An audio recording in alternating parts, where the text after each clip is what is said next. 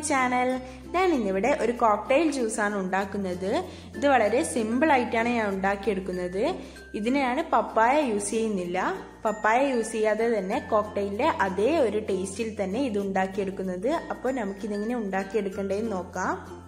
അതിനായി ഞാനിവിടെ നാല് മീഡിയം സൈസ് ക്യാരറ്റാണ് എടുത്തിട്ടുള്ളത്. ഏകദേശം ഇതൊരു ഇരുന്നൂറ്റി അമ്പത് ഗ്രാമോളം വരും. ഞാനിവിടെ അര ലിറ്റർ പാലിന്റെ കണക്കാട്ടോ പറയുന്നേ. ഇനി ഈ ക്യാരറ്റ് ചെറുതായി ഒന്ന് കട്ട് ചെയ്ത് കുക്കറിലേക്ക് മാറ്റാം.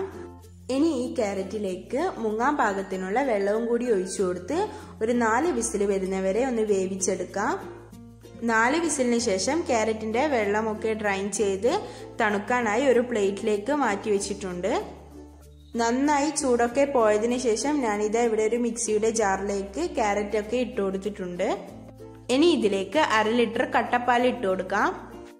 ഇനി ഇതിലേക്ക് പത്ത് പതിനഞ്ച് പീസ് കാഷ്യൂ നട്ട് ഇനി ഒരു ചെറിയ പീസ് മാങ്ങ. മാങ്ങ കൂടുതലാകാൻ പാടില്ല അപ്പൊ മാങ്ങയുടെ ടേസ്റ്റ് മുന്നിട്ട് നിൽക്കും. അപ്പൊ അത് പ്രത്യേകം ശ്രദ്ധിക്കുക. പിന്നെ ഇതിലേക്ക് അഞ്ച് ടേബിൾ സ്പൂൺ പഞ്ചസാര ഇട്ട് കൊടുക്കാം. ഇനി ഇതിലേക്ക് മൂന്ന് സ്കൂപ്പ് ഐസ്ക്രീമും കൂടി ഇട്ട് കൊടുക്കാം. ഞാനിവിടെ വാനില ഐസ്ക്രീമാണ് ഇട്ട് കൊടുത്തത്. ഇതിനെ ഒന്ന് അടിച്ചെടുക്കാം. ഇതിപ്പോൾ ഇവിടെ റെഡി ആയിട്ടുണ്ട്. ഇനി ഇതിലേക്ക് അനാർ ഇട്ട് കൊടുക്കാം. ഞാനിവിടെ ഒരു അനാറിന്റെ പകുതിയാണ് ഇട്ടിട്ടുള്ളത്. ഇനി ഇതിലേക്ക് ചെറുതായി കട്ട് ചെയ്തെടുത്ത കുറച്ച് കാഷ്യൂ നട്ടും കുറച്ചും കറുത്ത മുതിരിയും കൂടി ഇട്ട് കൊടുക്കാം. ഇതിനെ ഒരു സ്പൂണ് വെച്ച് നന്നായി ഒന്ന് മിക്സ് ചെയ്തെടുക്കാം.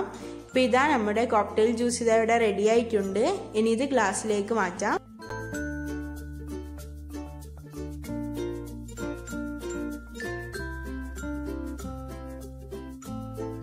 നല്ല ടേസ്റ്റി ആയിട്ടുള്ള ഒരു കോക്ടെയിൽ ജ്യൂസാണ് ഇങ്ങനെ ട്രൈ ചെയ്ത് നോക്കാത്തവർ ഒന്നിങ്ങനെ ട്രൈ ചെയ്ത് നോക്ക് കേട്ടോ എന്റെ വീഡിയോ ഇഷ്ടപ്പെട്ടാൽ ഫാമിലീസിനും ഫ്രണ്ട്സിനൊക്കെ ഷെയർ ചെയ്ത് കൊടുക്കാൻ മറക്കല്ലേ?